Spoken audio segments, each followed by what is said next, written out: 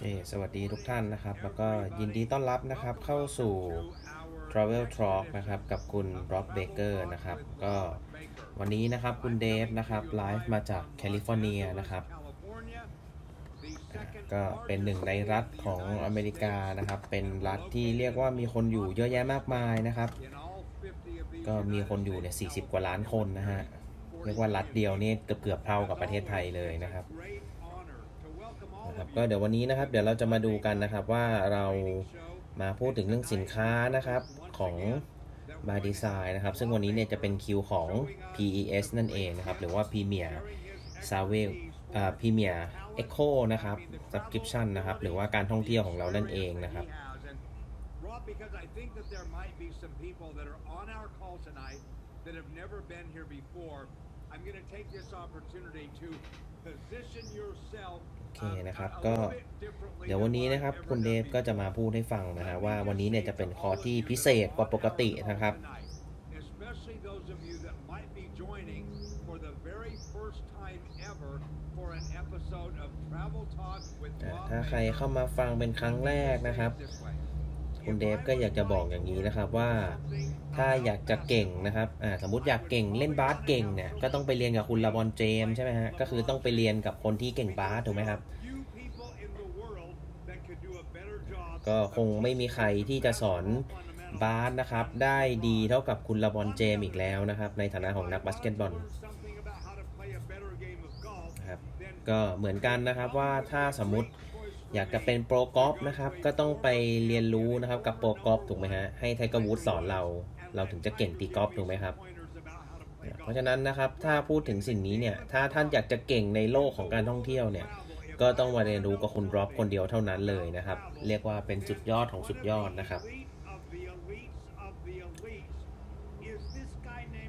ก็บุรุษท่านนี้นะครับที่ชื่อ Rob Baker นะครับ ก็ต้องบอกเลยนะครับว่า ช่วยนะครับให้เรานะครับได้เข้าใจว่า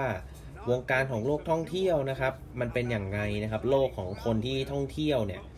มันเป็นอย่างไรนะครับ แล้วสามารถทำรายได้จากการท่องเที่ยวเนี่ยเป็นอย่างไรนะครับนั่นก็คือบุคคลที่เราจะได้มาเจอกันในวันนี้นะครับเรียกได้ว่าเป็นผู้เชี่ยวชาญนะครับ ในโลกของการท่องเที่ยวนะครับ ไม่ใช่แค่ใน network อย่างเดียว แต่ในโลกของการท่องเที่ยวด้วยนะครับ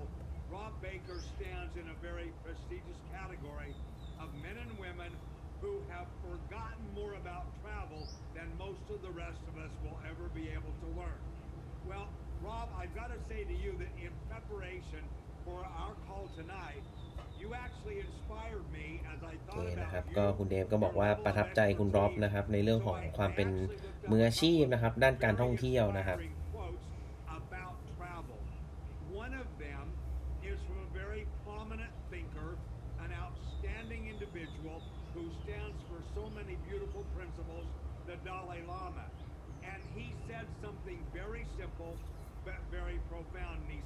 นะฮะเหมือนจะดึงคำพูดของดาไลลามะมาพูดนะฮะ บอกว่าปีหนึ่งเนี่ยควรไปเที่ยวในที่ที่มันที่ท่านไม่เคยไปสักครั้งหนึ่งต่อปีนะครับ bit of advice. เพราะฉะนั้นนะครับสิ่งที่ร็อบนะครับทำเนี่ยก็คือทำให้ความสิ่งเหล่านี้เนี่ยเป็นจริงได้นะครับ ด้วยการที่ท่านเนี่ยสามารถไปท่องเที่ยวในราคาที่พิเศษนะครับ really caused me to think was this traveling it leaves you speechless then turns you into a นะครับ ก็อีกหนึ่งบทความนะครับคำคมจากคุณเดฟนะครับก็คือ คือถ้าคุณไปท่องเที่ยวเนี่ย เรียกว่าก็ไม่ต้องพูดอะไรอีกเยอะนะฮะคือพอไปเที่ยวแล้วท่านก็จะไม่ต้องพูดอะไรแล้วนะครับ คือทุกอย่างเนี่ยมันอยู่ในความทรงจำมันอยู่ในภาพตาของท่านเป็นที่เรียบร้อยนะครับคำพูดไหนก็ไม่สามารถอธิบายได้เท่ากับการไปเที่ยวด้วยตัวท่านเองนะครับ ก็เพื่อไม่เป็นการเสียเวลานะครับ ก็ส่งไมค์กลับให้คุณรอฟเลยนะครับ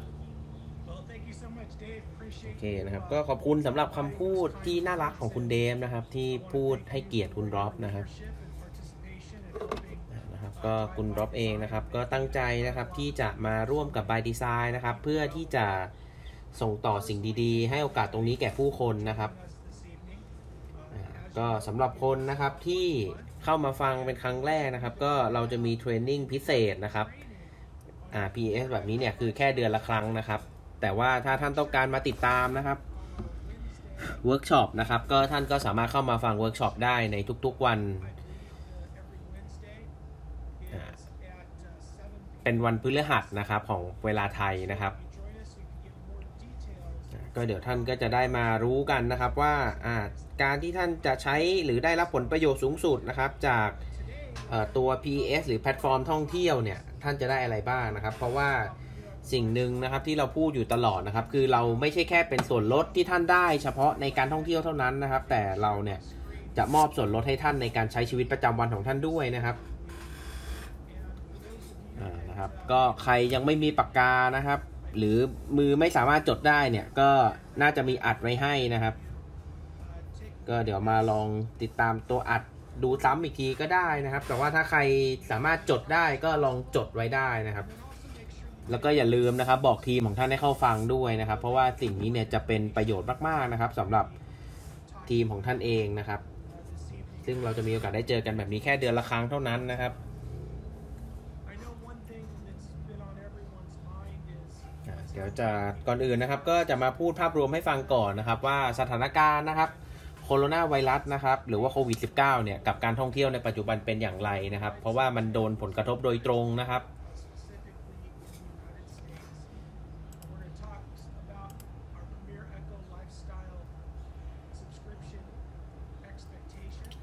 นะครับก็เดี๋ยวจะมาพูดให้ฟังนะครับว่า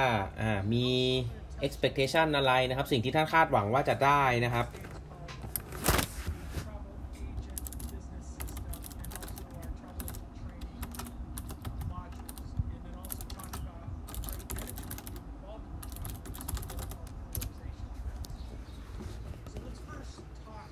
เคนะครับ ก็เดี๋ยวเรามาพูดกันนะครับว่า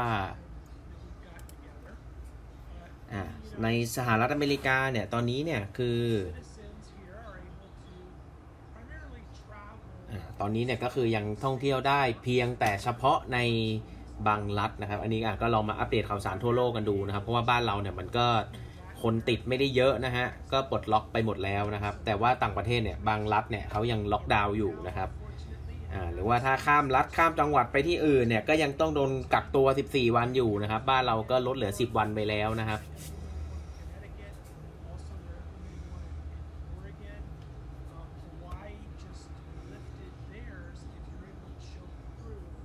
นะครับก็ถ้าไปฮาวายมานะครับ ก็ต้องโดนเช็คนะครับภายใน 72 ชั่วโมง หรือประเทศต่างๆ อะไรอย่างนี้นะครับ ก็ตรงนี้ก็พูดเป็นคร่าวๆแล้วกันนะครับ เพราะว่า แต่ละประเทศเนี่ยเขาก็จะมีกฎระเบียบไม่เหมือนกันนะครับ ก็ลองไปหาข่าวสารข้อมูลนะครับ อาจจะไม่ได้เจาะจงทุกประเทศนะครับว่าประเทศไหนมีกฎหรือว่ามีระเบียบการกักตัวเป็นยังไงนะครับ ก็ต้องบอกเลยนะครับว่าจริงๆเนี่ยวงการท่องเที่ยวเนี่ยตั้งแต่เดือนมีนาคมปีนี้เนี่ยคือได้รับผลกระทบหมดเลยนะครับ ตั้งแต่มันมีโคโรนาเนี่ย But there are flights going on in the United States to many markets.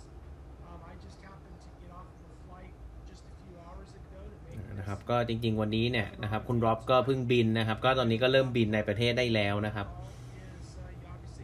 ก็ต้องใส่หน้ากากตลอดการเดินทางนะฮะก่อนขึ้นเรือตอนอยู่บนเครื่องนะครับ ก็ต้องใส่มาร์กตลอดนะครับตอนนี้เนี่ยสายการเดินเรือนะครับ ก็เริ่มเปิดให้จองแล้วนะครับ ถ้า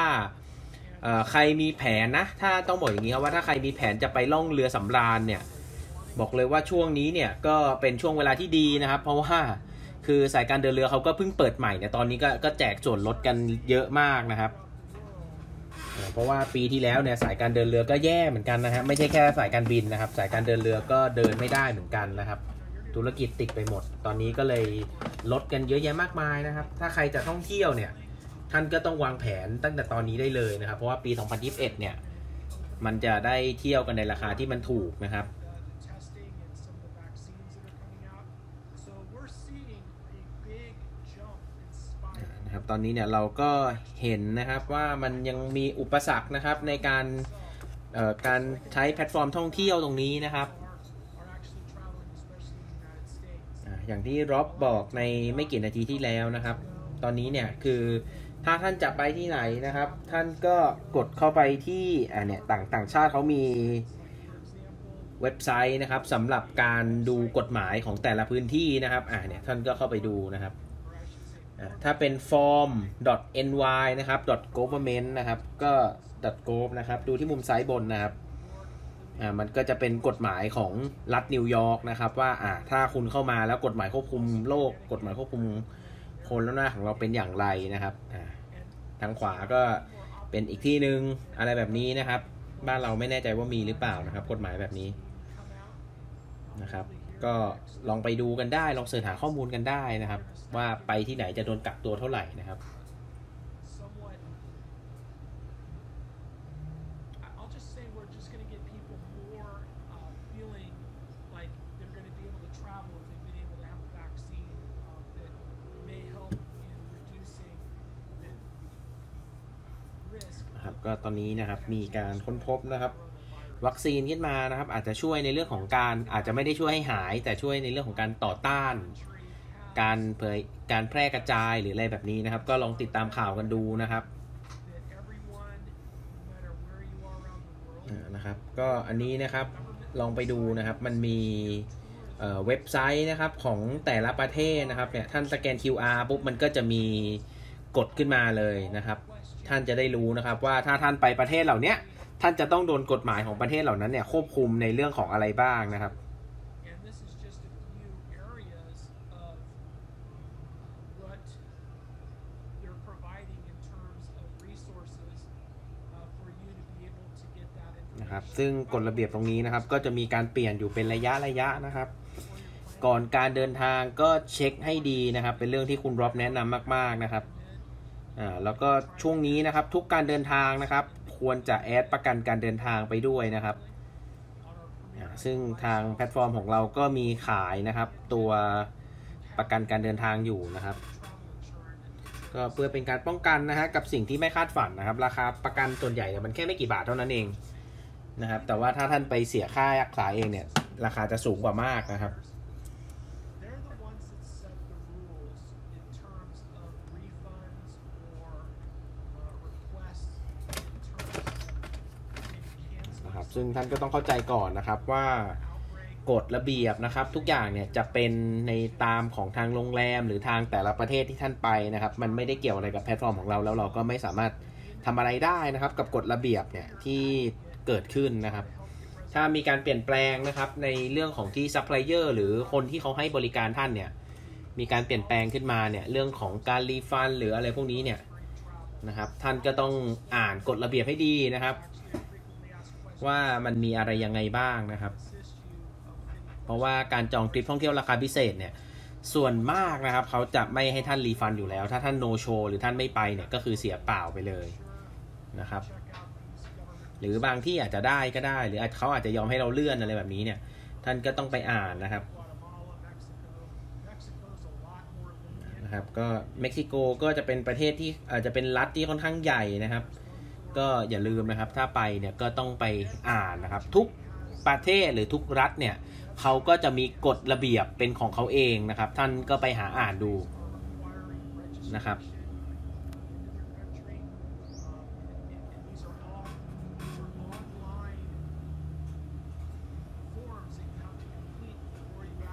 รวมไปถึงมันจะมีเขาเรียกว่าเอกสารนะครับ ให้ท่านกรอกด้วยนะครับ ก่อนที่ท่านจะไปเหยียบประเทศไหนๆนะครับฮาวายนะครับก็เป็นหนึ่งในสถานที่โปรดของคุณรอบนะครับ ก็หวังว่านะครับคุณรอบเนี่ยจะได้ทำข้อตกลงนะครับกับทางผู้บริหารบายดีไซน์นะครับ แล้วก็จัด Dream Trip นะครับ ให้กับผู้นำของเราเนี่ยทริปแรกไปที่ฮาวายหรืออะไรแบบนี้นะครับ ก็รอสถานการณ์ดีกว่านี้ก่อนนะครับ คุณร็อบก็อยากจะจัดทริปให้นะครับ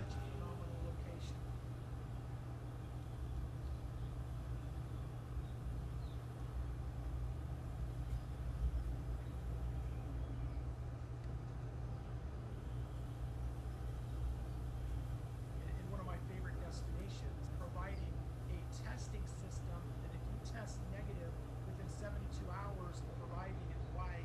you don't have to go อ่า through นะครับ quarantine ก็อะอย่างตรงนี้นะครับก็เป็นกฎระเบียบของฮาวายนะครับ ก็คือถ้าถ้าท่านไปฮาวายอ่าคืออ่าประมาณว่าฮาวายเนี่ยถ้าท่านไปกับฮาวายเนี่ยภายใน 72 ชั่วโมงถ้าไม่มีอะไรเกิดขึ้นเนี่ยท่านก็ไม่ต้องโดนกักตัวอะไรแบบนี้นะครับ ก็คือเป็นกฎระเบียบนะครับ ที่เป็นอะไรที่ดีมากๆนะครับ great news for those uh, Japanese uh, friends of ours that are looking to get back and, and doing some traveling outside of Japan. So this is a little นะครับ อันนี้ก็เป็นกฎระเบียบนะครับ ที่เขาเขียนว่าอ่าถ้าคนอเมริกาและคนญี่ปุ่นเนี่ยกลับมาแล้วตรวจไม่พบนะครับ ก็ผ่านได้เลยนะครับ ไม่ต้องไป ไม่ต้องไปโดนกักตัว 14 วันนะครับ effective this month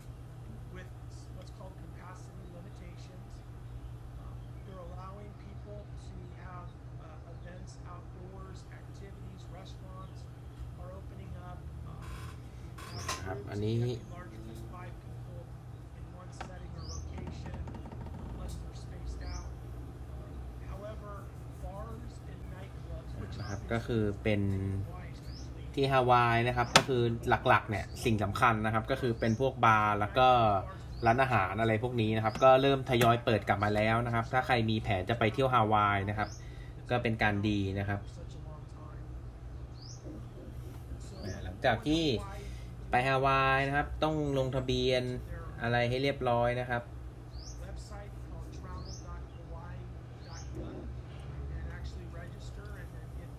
นะครับ ก็ไปที่ travel.hawaii.government นะครับ .gov นะครับ ก็ไปอ่านกฎระเบียบอ่านอะไรให้ดีนะครับ ก็ดูอย่างรีสอร์ทตรงกลางนะครับของไฮแอดนะครับไฮแอดนี่เราก็รู้จักกันดีอยู่แล้วนะครับ ว่าเป็นโรงแรมระดับโลกนะครับ ในไทยก็มีนะครับ ราคาสูงมากๆนะครับ นะครับ ก็ตอนนี้นะครับไฮแอดนะครับ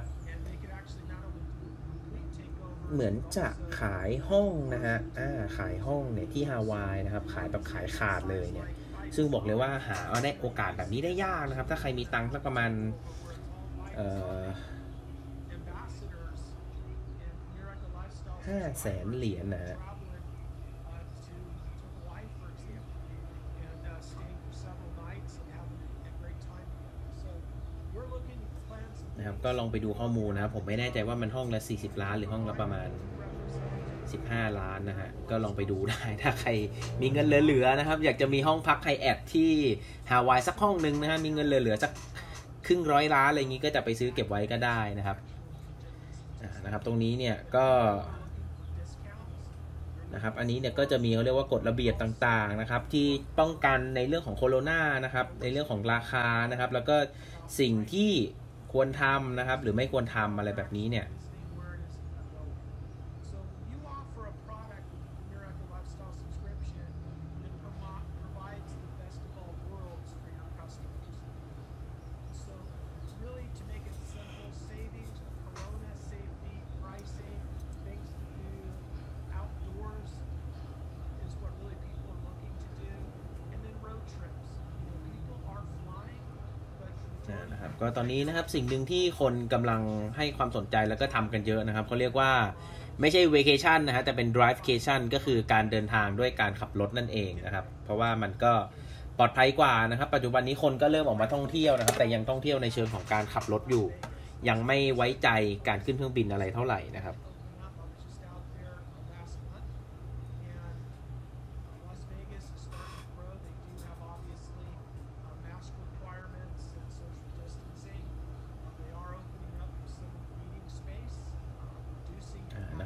อันนี้ก็เป็นข่าวสารอัปเดตในรัฐเวกัสนะครับว่าจากปกตินะฮะล็อกดาวน์นะครับลิมิตคนเข้าพักแค่ 250 ตอนนี้ก็เพิ่มลิมิตห้องพักเป็น1,000 อะไรพวกนี้นะครับ แล้วก็ล็อกดาวน์หลาย ๆ ส่วนนะครับ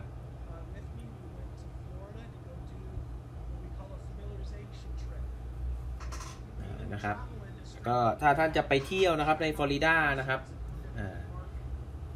สามวันสี่คืนนะครับ อันนี้ก็เป็น หนึ่งในตัวอย่างนะครับของการท่องเที่ยวนะครับ ที่คุณร็อบไปเที่ยวมานะครับว่ามันก็เริ่มมีการท่องเที่ยวแล้วนะ คือถึงคนจะน้อยไปหน่อยนะครับ แต่ว่ามันก็เริ่มมีคนออกมาเที่ยวแล้วนะครับ อันนี้เนี่ยคุณร็อบก็ไปเที่ยวบุชการ์เดนนะครับ ก็เป็นอีกหนึ่งสถานที่ที่ควรไปนะครับ ถ้าท่านไปฟลอริดานะครับ ก็ถ้าไปฟลอริดาเนี่ยหลักๆที่ท่านต้องไปนะฮะ ก็จะมีพวกดิสนีย์แลนด์ใช่ไหมฮะ Universal Studio นะครับ Busch Garden นะครับ แล้วก็มันจะมีสวนน้ำมีอะไรเนี่ยให้ท่านไปเล่นเนี่ยอีกเยอะแยะมากมายนะครับ It has uh, almost like a zoo atmosphere,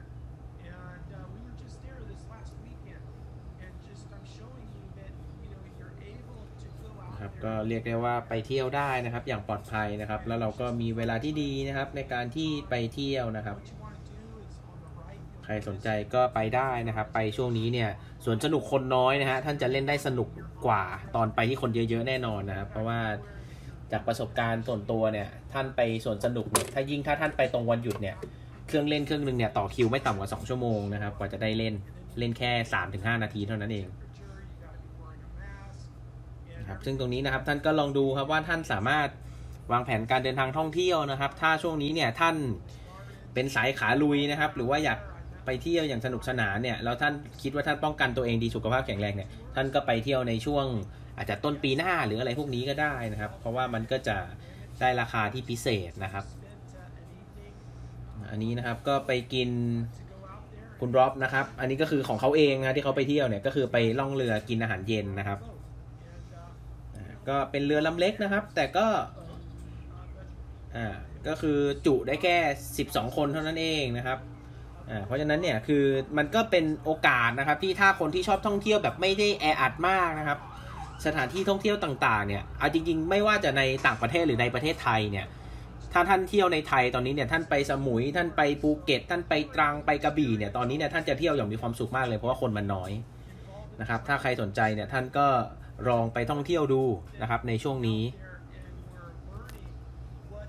นะครับเพราะว่าจริงๆสถานการณ์ในประเทศไทยเนี่ยก็ไม่ได้ร้ายแรงอะไรขนาดนั้นถ้าเทียบกับประเทศอื่นนะครับ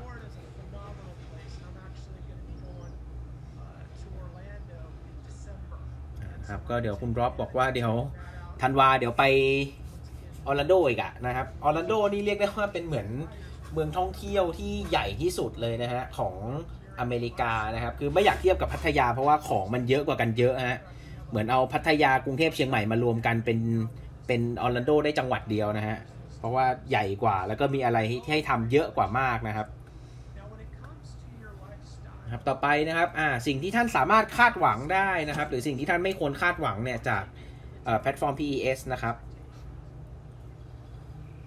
อย่างแรกนะครับคือท่านต้องเข้าใจก่อนนะครับ ว่าราคาเนี่ยมันจะขึ้นอยู่กับหลากหลายปัจจัย ไม่ว่าจะเป็นสถานที่ฤดูกาล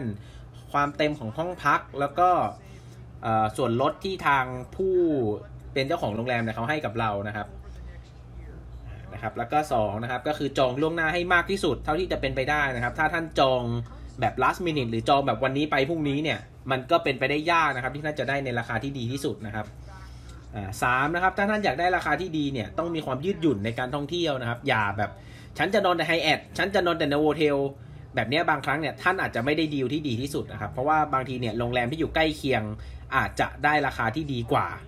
อ่าแล้วก็เป็นโรงแรมที่หรูพอๆกันก็เป็นไปได้นะครับ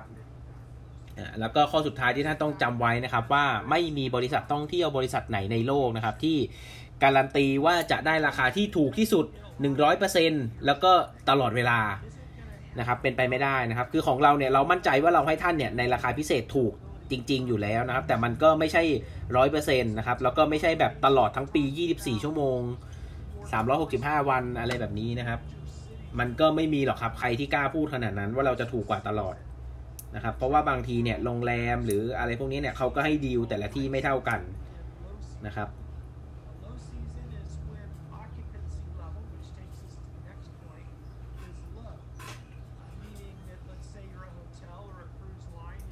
ก็เมื่อกี้ผมอธิบายตรงนี้ไปแล้วนะครับ ที่คุณล็อกกำลังพูดอยู่นะครับ ในเรื่องของความเต็มของที่พักนะฮะถ้าสมมติอะมันมันว่างอย่างเงี้ยอะที่พักมันว่าง มันก็ราคาที่ได้ราคาที่ถูกนะฮะ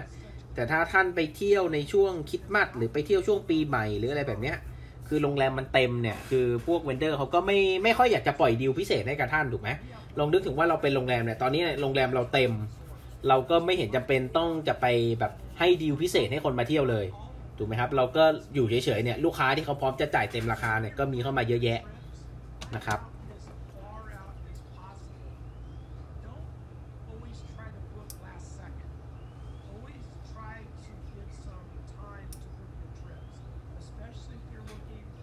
อันนี้ก็เพิ่มเติมให้นะครับว่า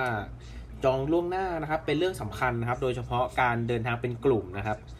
ยิ่งท่านเดินทางเป็นกลุ่มเนี่ยท่านยิ่งควรจะจองล่วงหน้าเนี่ยบางที 30-60วันโดยด้วยซ้ำนะครับเพื่อให้มันง่ายต่อการจัดการห้องพักนะครับ เพราะว่าบางทีท่านไปกันเนี่ยท่านต้องการ 5 ห้อง 10 ห้องเนี่ยบางทีเนี่ยโรงแรมโรงแรมเดียวอาจจะไม่ได้มีเยอะขนาดนั้นพร้อมให้กับท่านก็ได้นะครับแล้วก็เป็นคนที่อย่างที่บอกไปเมื่อสักครู่นะครับ เป็นคนที่ยืดหยุ่นนะครับในการท่องเที่ยวนะครับ That may, อ่า การที่ท่าน เป็นคนที่มีความยืดหยุ่นนะครับ ในการเลือกโรงแรมนะครับ เพราะว่าบางทีเนี่ยโรงแรมที่ท่านเลือกเนี่ย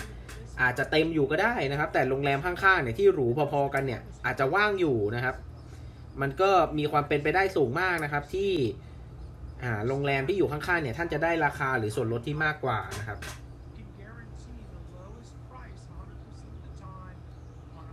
นะครับแล้วก็อย่างที่บอกไปเมื่อสักครู่นะครับว่าไม่มีหรอกครับ ไอ้แพลตฟอร์ม travel ที่ไหนที่บอกว่าจะถูกกว่าร้อยเปอร์เซ็นแล้วก็ถูกกว่าตลอดเวลาเนี่ยไม่มีหรอกครับดีลมันจะมีการกระจายกระจายกันไปนะครับนะครับ ซึ่งในแพลตฟอร์ม PS ของเรานะครับ เราก็มีในส่วนของเรียกว่าราคาการันตีนะครับ ว่าถ้าสมมติท่านไปเจอ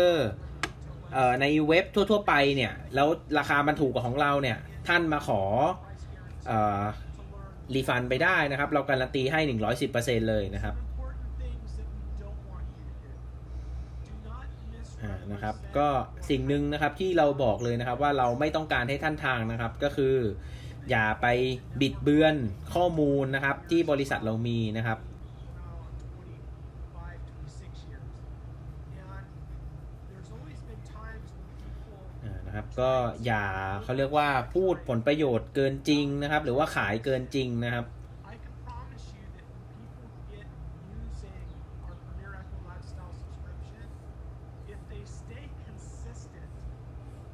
and consistent meaning being on it for a year, at the end of the year, they're going to see an accumulation นะครับก็ถ้าท่านสามารถคือบอกเลยนะครับว่า ค่าสมัครสมาชิกเนี่ย มันจะเยอะหรือจะน้อยนะครับ บอกเลยว่ามันขึ้นอยู่กับการใช้นะครับ ยิ่งถ้าท่านใช้มากเท่าไหร่นะครับ แพลตฟอร์มตัวนี้เนี่ยก็ยิ่งช่วยให้ท่านเนี่ยได้ส่วนลดมากขึ้นเท่านั้นนะครับ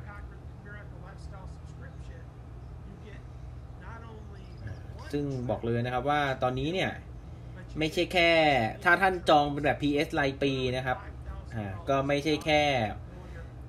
ท่านจะได้ตัวเม็กซิโกนะครับ แต่ว่ายังมีตัว DG นะครับ ตัว Destination Giveaway ด้วยนะครับ ตรงนี้เดี๋ยวมาอัปเดตกันอีกทีนะครับ ว่าอะไรยังไงนะครับ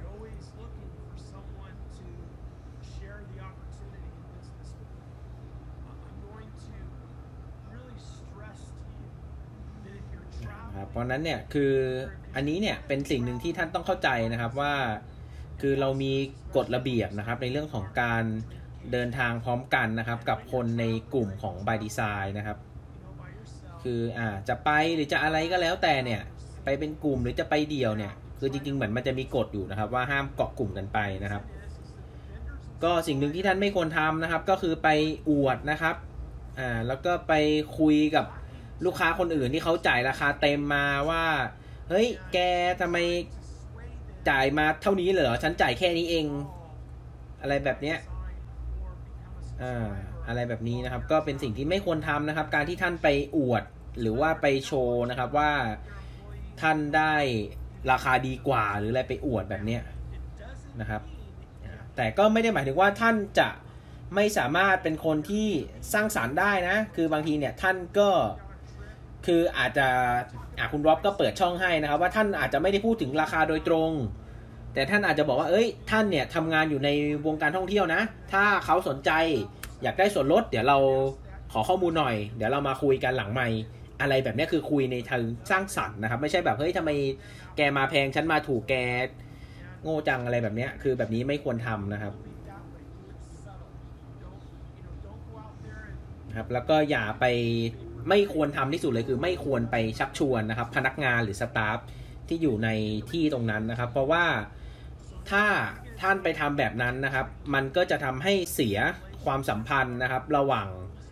บริษัทคู่ค้ากับของเรานะครับ แล้วมันก็จะส่งผลกระทบถึงตัวท่าน แล้วก็เพราะท่านเนี่ยผิดกฎระเบียบของเราด้วยนะครับอ่าแล้วก็จะส่งผลกระทบในหลาย ๆ อย่างนะครับ เพราะฉะนั้นเนี่ยคืออย่าไปชวนคนแบบประเจิดประเจ้อนะครับ หรือว่าไปเอ่อไปชวนลูกจ้างเขามาทำงานกับเรา หรืออะไรแบบนี้อันนี้ไม่ควรทำอย่างมากนะครับ are, are approved by our vendors and suppliers. In addition, you'll notice that a lot of our presentations we have นะครับ ก็ตรงนี้นะครับเนี่ยท่านก็จะเห็นนะครับว่าหลาย ๆ Presentation ของเรานะครับ เราเนี่ยได้บังชื่อนะครับของโรงแรมหลาย ๆ ที่นะครับ ที่เราโชว์ขึ้นมาเนี่ย เวลาที่ท่านทำทำการ Presentation เนี่ย ถ้าไม่ใช่การ Presentation ส่วนตัวเเป็นการ Presentation ในที่สาธารณะเนี่ย ท่านต้องเบลอชื่อโรงแรมไว้ตลอดนะครับ เพราะว่าไม่งั้นเนี่ย โรงแรมเหล่านั้นเนี่ยเขาก็จะถูกโจมตีจากคนที่เป็นลูกค้าทั่วไปว่า เฮ้ยทำไมแกให้ดีลพิเศษกับคนกลุ่มนี้ หรือคนที่เป็นกลุ่ม มาจากแพลตฟอร์มท่องเที่ยวเนี่ยนะครับเพราะฉะนั้นเนี่ยสิ่งหนึ่งที่ท่านต้องเข้าใจเลยนะครับ คือท่านต้องปกป้องตัวท่านเองแพลตฟอร์มของท่านแล้วก็ปกป้องโรงแรมเหล่านั้นด้วยที่เขาให้ราคาพิเศษกับเราอ่าไม่ใช่ว่าเขาให้ราคาพิเศษกับเรา แล้วเราก็ไปป่าวประกาศให้เขาโดนด่าว่าทำไมเขาให้ราคาพิเศษกับคนกลุ่มเดียวนะครับเพราะนั้นเนี่ยเวลา Presentation ก็ต้องบล็อกชื่อหรือบังชื่อไว้นิดนึงนะครับว่าโรงแรมไหนบ้างที่มีส่วนลดนะครับ จริงๆก็แทบจะทุกโรงแรมเขาก็ให้ส่วนลดเราหมดนะครับ นะครับแล้วก็จำไว้นะครับสำคัญที่สุดนะครับ ก็คือทุกอย่างของเราเนี่ยมันจะมีเอกสารนะครับ หรือด็อกิวเมนต์เนี่ยเก็บข้อมูลเอาไว้นะครับ ก็ทุกอย่างนะครับท่านจะพูดอะไรยังไงก็แล้วแต่แหละ แต่ว่าถ้าท่านทำผิดกฎระเบียบตามเอกสารทั้งหมดเนี่ย อันนี้ก็ต้องว่ากันไปตามกฎระเบียบนะครับ ทุกอย่างเนี่ยจะเป็นไปตามกฎระเบียบที่เขียนไว้ในเอกสารนะครับก็สรุปสุดท้ายนะครับก็คือ Talk a little bit สินค้าใหม่นะครับที่เรามีนะครับในสหรัฐอเมริกาที่เราปล่อยมาเมื่อ 3 เดือนที่แล้วนะครับอ่าก็คือเป็นตัวเขาเรียกว่ารับนะครับให้คนสหรัฐอเมริกาเนี่ยสามารถมาเป็นไกด์ทัวร์แบบมืออาชีพได้นะครับ พาคนไปเที่ยวหรือว่าจองเที่ยวให้คนอื่นนะครับ แล้วท่านก็ได้เขาเรียกว่าราคาพิเศษนะครับ to this product. Or if you do not have the Premier Rental Lifestyle subscription and you reside in the United States, you're eligible to purchase the, the travel agent training system and travel agent business system through my company called Travalogy. And, and what may be the difference? First thing, นะครับ ก็สิ่งหนึ่งที่ท่านต้องรู้นะครับ ว่าตอนนี้เนี่ยตัว t r a v e l o g y นะครับการเปิดรับไกด์ทัวร์เนี่ยของบริษัทเนี่ยตอนนี้เนี่ยยังเฉพาะในอเมริกาเท่านั้นนะครับ เดี๋ยวเราจะไปออสเตรเลีย แล้วก็ไปยุโรปไปลาตินอเมริกาในส่วนถัดๆไปนะครับ ก็ต้องรอดูกันต่อไปนะฮะก็จะพยายามทำประเทศเหล่านั้นนะครับ ที่กล่าวถึงให้เสร็จภายในปี 2021 นะครับถ้าท่านเป็นคนที่ชอบท่องเที่ยวเนี่ยและท่านเป็นคนชอบนำเที่ยวเนี่ย บอกเลยว่าแพลตฟอร์มตัวนี้เนี่ยจะทำกำไรให้ท่านมหาศาลนะครับ เพราะว่าคุณร็อบเขาเคยเปรียบเทียบให้ดูแล้วนะครับว่าอัตราส่วนนะครับกำไรเนี่ยหรือคอมมิชชั่นที่ท่านได้จากการนำเที่ยวเนี่ยอ่าถ้าท่านเป็นเอเจนต์ของบริษัทอื่นนะครับกับท่านมาเป็นเอเจนต์ของทางแพลตฟอร์ม PS เนี่ยเขาเรียกว่าผลกำไรที่ท่านได้เนี่ยเยอะมากนะครับมหาศาลเลย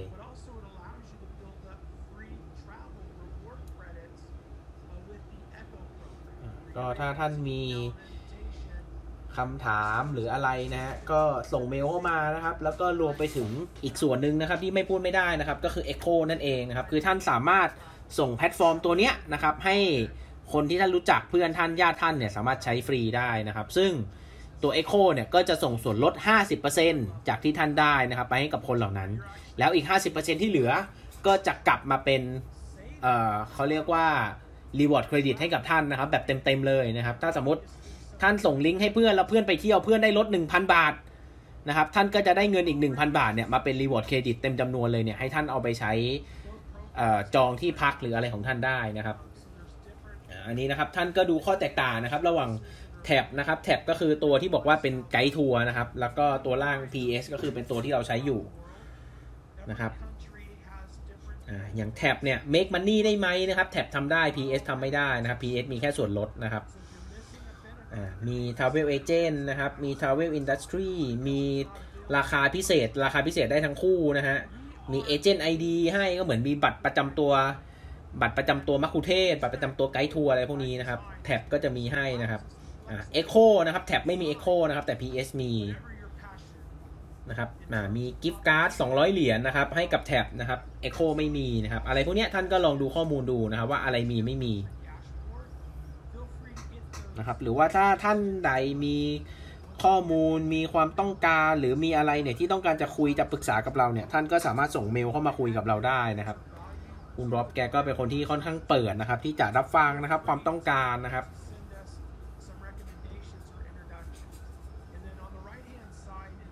นะครับ ก็แดชบอร์ดของ PS จะเป็นแบบด้านซ้ายนะครับแพทเอ่อแดชบอร์ดของแท็บนะครับ ก็จะเป็นแบบด้านขวานะฮะก็คือหน้าตาจะไม่เหมือนกัน travel business. And people make money in the travel industry. อันนี้ก็คือเป็นสถิตินะครับของอ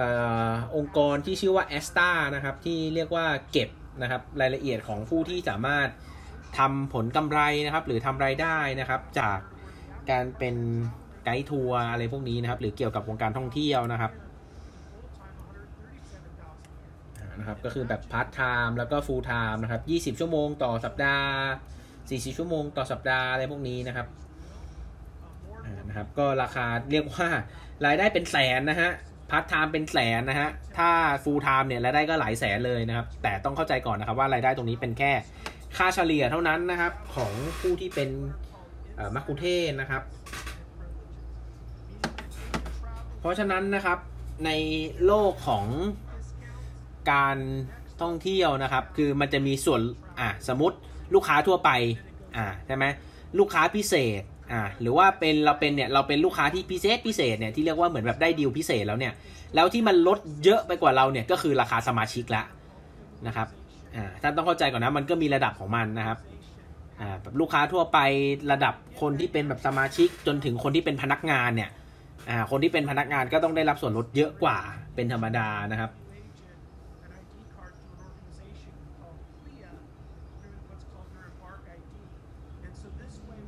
ก็ตรงนี้นะครับเขาเรียกว่า เป็นบัตรประจำตัวของท่านนะครับ ที่ท่านสามารถเนี่ยคือถ้าคนไหนที่อยู่ในวงการทัวร์เนี่ยท่านจะรู้เลยฮะแม้แต่ในประเทศไทยเนี่ยท่านก็จะเป็นจะมีบัตรบัตรประจำตัวของการเป็นมักคุเทศของท่านเนี่ยนะครับแล้วบัตรนี้ก็จะเป็นเหมือนบัตรเบ่งท่านไปที่ไหนท่านก็จะได้ส่วนลดท่านไปที่ไหนท่านก็จะได้สิทธิพิเศษนะครับเพราะฉะนั้นเนี่ยตรงนี้เนี่ยก็เป็นประโยชน์มากๆนะครับ ถ้าใครชอบวงการนี้แล้วก็อยากจะเข้ามาในวงการนี้จริง ๆ จังๆ นะครับ ก็ไปลองติดตามของอเมริกาดูก่อนก็ได้นะครับ พอถึงเข้าไทยเมื่อไหร่ท่านก็ลุยเลยนะครับ เพราะว่าการเป็นไกด์ทัวร์เหล่านี้นะครับ เวลาท่านจองห้องพักเนี่ย ท่านก็ได้ส่วนต่างแล้วอ่าท่านก็จะได้ส่วนแบ่งอีกจากโรงแรมอะไรแบบนี้เยอะแยะมากมายนะครับ เรียกว่ากำไรเยอะแยะมากมายจากการเป็นไกด์ทัวร์นะครับ แล้วท่านก็รวมไปถึงกำไรสูงสุดคือท่านก็ได้เที่ยวด้วยนะครับ ไปเที่ยวแล้วได้ตังของแท้นะครับนะครับ อันนี้ก็เรียกว่า Travel Agent Fam นะครับ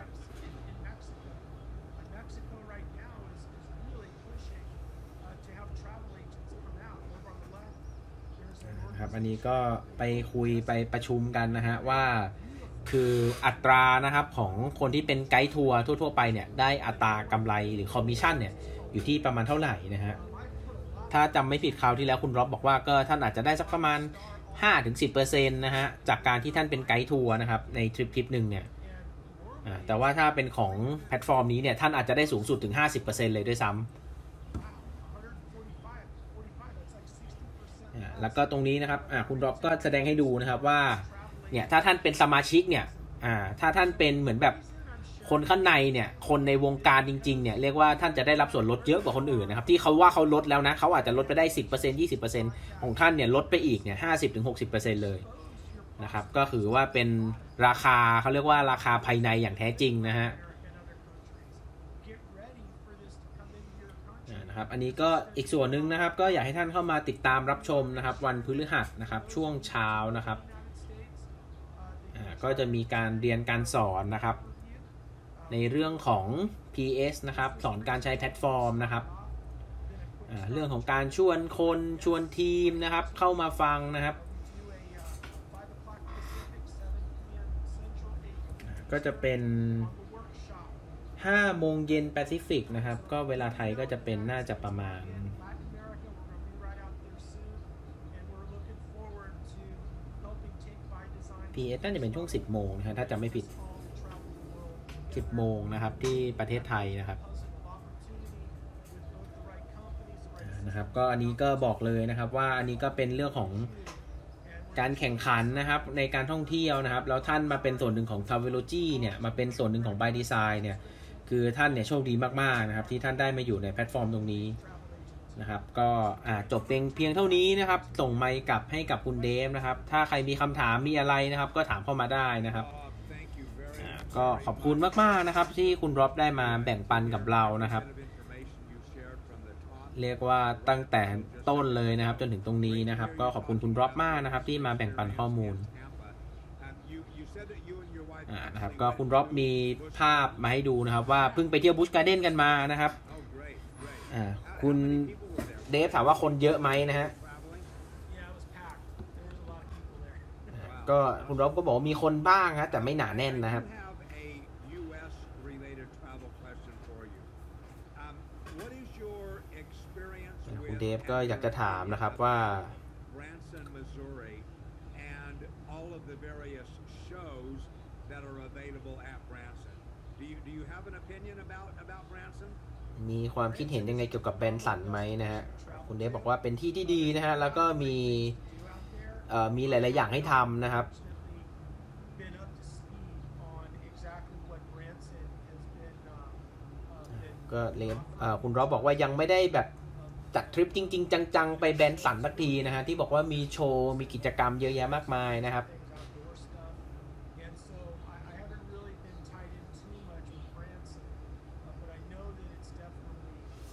ก็เป็นหนึ่งในประเทศที่ดีนะครับ ประเทศแบนสันนะฮะ ไม่แน่ใจเหมือนกันว่าอยู่ที่ไหนของโลกนะฮะ ก็เรียกได้ว่าเป็นที่หนึ่งที่คุณร็อบบอกว่าเป็นที่ที่ดีนะฮะ ใช้ได้ฮะกิจกรรมหรือมีอะไรให้ทำเยอะนะครับ People talked before that Branson is a phenomenal นะครับ family ก็คุณเดฟถามว่าแบนสันเนี่ยเป็นที่ที่เหมาะสำหรับการไปเที่ยวแบบเป็นครอบครัวถูกไหมนะครับเดฟตอบว่าใช่นะฮะอ่าคุณ คุณร็อบก็ตอบว่าใช่นะฮะคือมีอะไรให้ทำมีกิจกรรมเยอะแยะมากมาย มีเพลงร้องเล่นเต้นรำนะฮะหรืออะไรต่างๆเนี่ยก็มีคนที่ให้คอมเมนต์ที่ดีนะครับ เกี่ยวกับแบนสันเยอะแยะมากมายนะครับ consider myself to be a very well-traveled individual นะ ครับก็คุณเดฟก็ยังไม่เคยไปแบนด์สันนะครับ แต่ก็เป็นหนึ่งในสถานที่ที่คุณเดฟเนี่ยกำลังเล็งที่จะไปอยู่นะครับ อาจจะเป็นในทริปถัดไปนะครับอ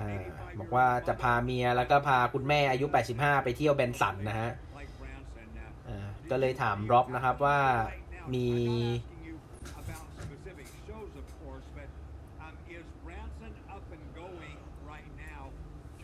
มีการเปิดหรือยังฮะแบนด์สันเนี่ยเปิดหรือยังนะครับเหมือนพวกรัฐเวกัสที่ตอนนี้เริ่มเปิด เริ่มให้ห้องพักได้มากขึ้นนะครับ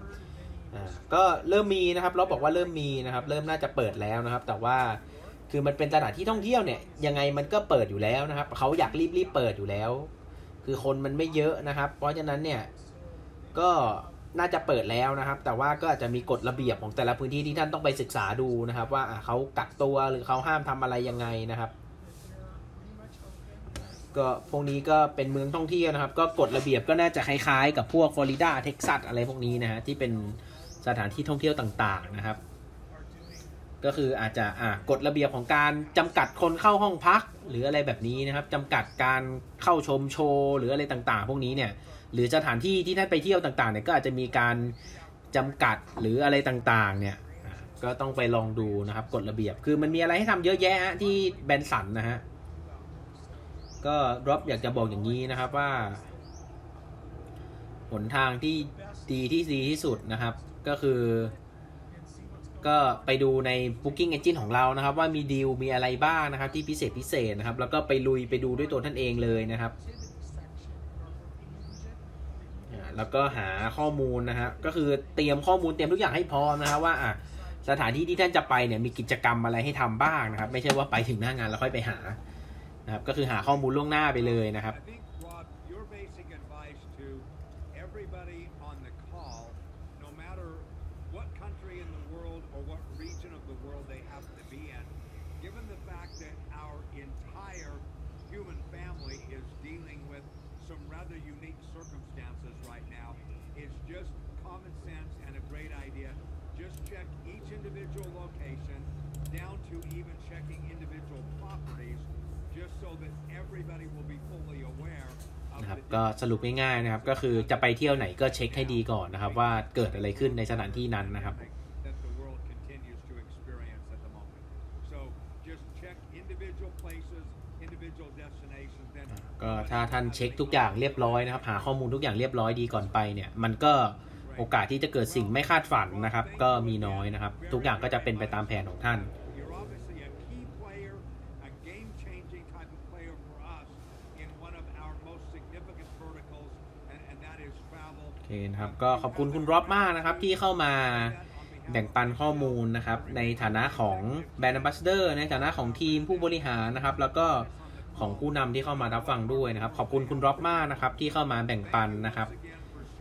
อ่าไว้พบกันนะครับในโอกาสหน้านะครับสำหรับวันนี้สวัสดีครับ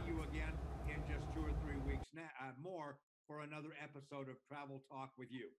Okay, thank you so much and good